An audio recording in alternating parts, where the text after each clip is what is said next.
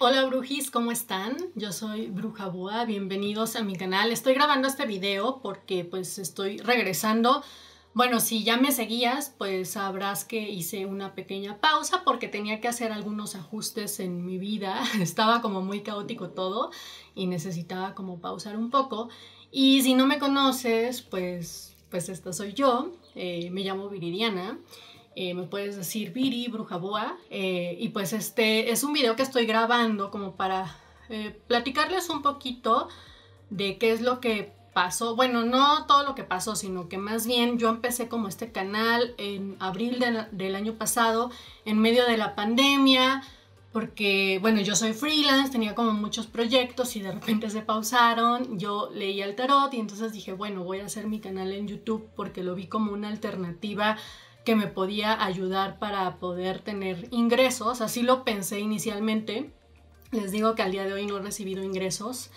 Algo, algún día llegará, pero no me preocupa en este momento.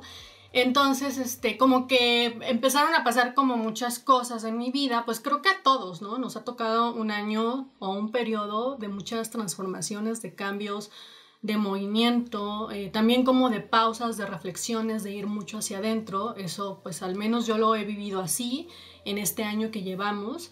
Entonces yo empecé como el rush, como de, bueno, tengo que resolver mi vida, tengo que tomar decisiones y iba así, de repente se me juntaron cosas, yo vivía en un lugar donde compartía depa con, con gente, entonces me tuve que mover a otro lugar, este, él es Bash, que se espantó, y después de eso, eh, pues ya como en, en, los últimos meses del año pasado, empezaron como ciertas cosas a salir que estaban fuera de mi control. Se enfermó, yo tengo tres gatos, él es Bash, este, se enfermó otro de mis gatos con el que tengo como 13 años, este, tuvo un tumor, entonces tuve que hacerle una operación empezó a tener otras complicaciones, entonces fue muy estresante, o sea, fue como un periodo muy estresante porque yo seguía como en el rush, como de, a ver, debo de seguir, o sea, afortunadamente he tenido trabajos, he tenido ingresos económicos que no es del canal, este, eso sí se ha resuelto, pero es como que yo estaba haciendo mi trabajo, estaba haciendo el canal, empecé a, a estudiar astrología, porque es algo que estoy implementando en mis tiradas, porque estoy como haciéndolo de, ya de forma seria, entonces como que mis días de descanso yo los ocupaba como para seguir en el rush y no parar, como a detenerme un poco, descansar y asimilar lo que estaba viviendo. Entonces pasó lo, de, lo del gato, que fueron muchos meses, como tres meses de mucho estrés porque no encontraban que tenía, este, que el tratamiento este, que el otro, que el estudio, este, y bueno, fue como horrible. Luego también surgieron como ciertas situaciones del tema familiar que así temas como de la vida que había estado como dejando así, que de repente la vida dijo, no, ahora es cuando tienes que arreglarlo. Entonces se me puso aquí en la cara como esa situación, que fue tomar conciencia como de ciertas cosas. Entonces era muy abrumador, emocionalmente fueron meses, o sea, los últimos meses fueron muy abrumadores y yo no paraba, ¿no? Yo seguía así como de, no, pero el canal, pero la astrología, pero mi trabajo, ¿no? Y, empecé también una terapia. Este, yo a lo largo de mi vida he tomado muchas terapias de todo tipo eh, y eso es algo que por eso yo insto a las personas a que lo hagan porque ayudan. Eh, cada terapia me ayudó a cosas puntuales y, y, sí, o sea, como que agradezco mucho los momentos que tomé terapia. No lo hago así toda mi vida, o sea, no es como que desde hace 50 años, bueno, no tengo 50, ¿no? Pero desde hace así mucho tiempo yo estuviera tomando la misma terapia, no, sino que he tomado diferente tipo de terapia.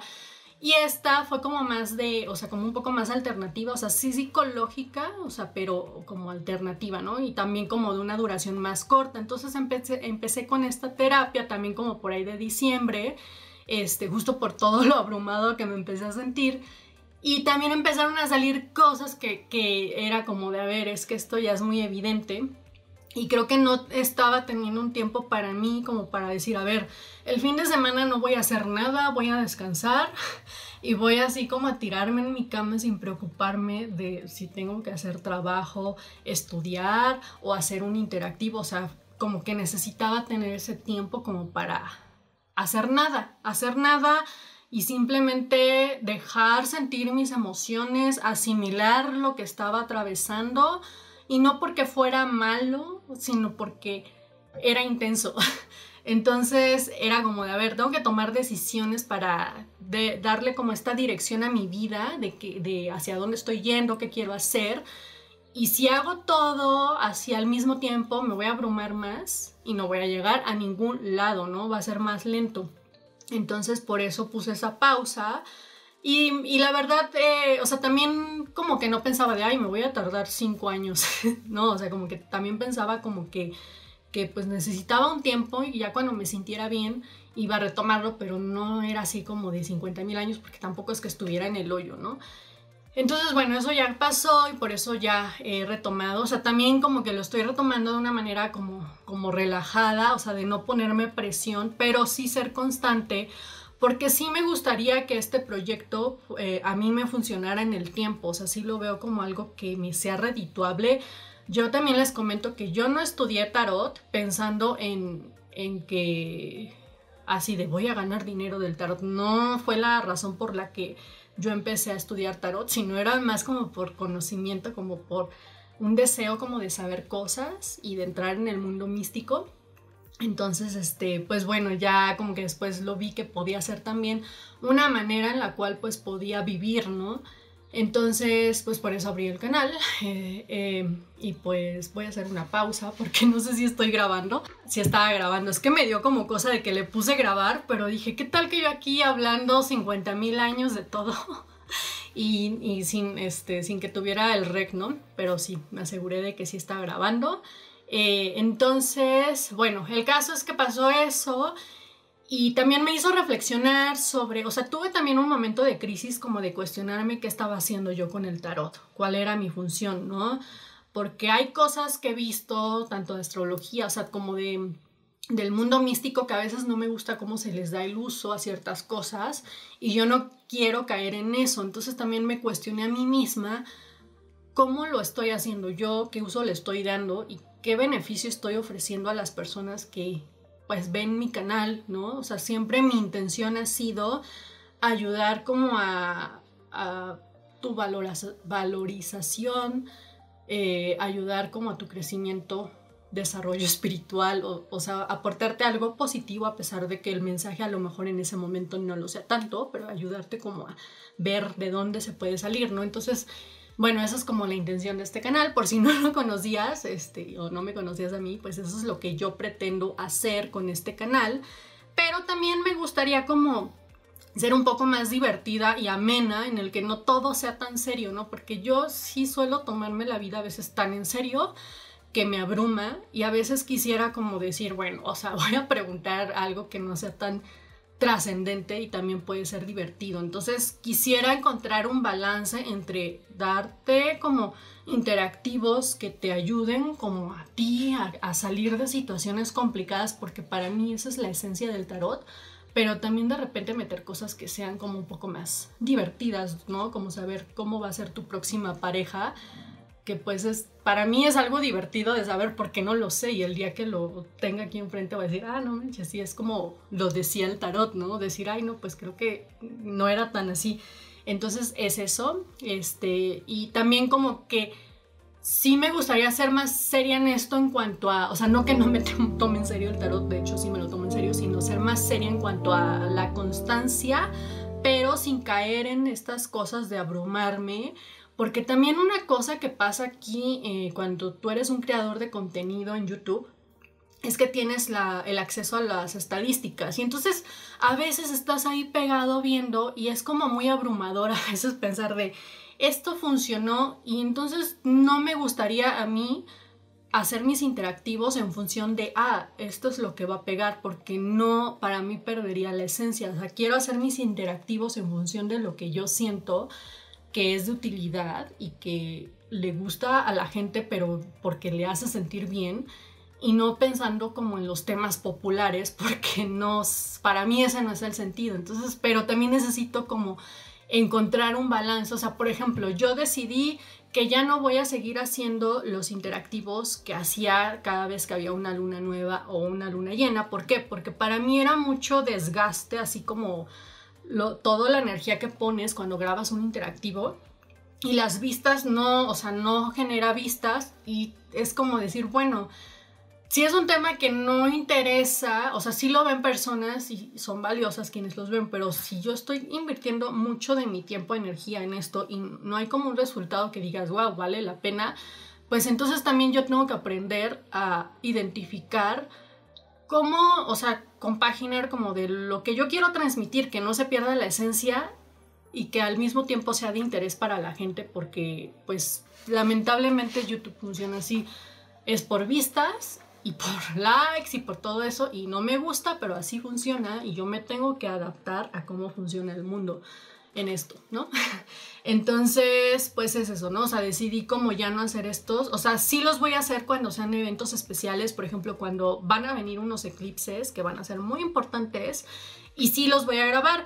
Para los interactivos así de la luna llena, luna nueva, prefiero dejarlo para mi Instagram porque de hecho los invito a seguirme en mi cuenta de Instagram en donde suelo dar más información de qué es lo que se nos mueve en las lunas llenas nuevas. Y también ahí tengo como unos interactivos que son más como de elige una carta y, sale un mensaje para ti que son como más sencillos. Entonces eso es lo que voy a hacer o sea como dejar como como los interactivos profundos extensos que grabo aquí en video para los eclipses lunares o solares y eh, como todas las demás lunas siempre voy a subirlo por, por, este, por mi Instagram nada más, o sea, no lo voy a dejar de hacer, solo lo voy a hacer por allá. Y también lo que quisiera, o sea, sí voy a seguir con el sí y el no, porque a mí me encanta y también veo que a, a ustedes les gusta, entonces pues eso lo seguiré haciendo.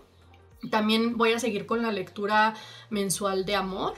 Y también como temas de amor, si ustedes tienen sugerencias de qué les gustaría ver. O sea, por ejemplo, a mí no me gusta mucho como indagar demasiado como en el otro, porque para mí lo importante es tú, o sea, el consultante, el que está viendo aquí. Entonces, a veces sí está bien como saber de, ay, ¿qué piensa? ¿Qué siente?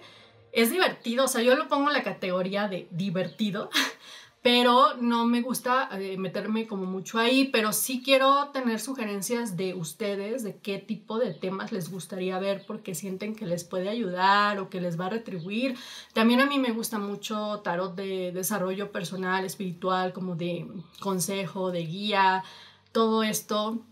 Y también puede ser enfocado en el amor, porque no, muchas veces creo que podemos tener como bloqueos que el tarot nos puede ayudar como a resolver de dónde viene, por qué no fluye mi vida amorosa, este, también porque se alejó la otra persona, muchas veces es porque la persona tiene problemas y no tiene que ver contigo, entonces eso lo seguiré haciendo.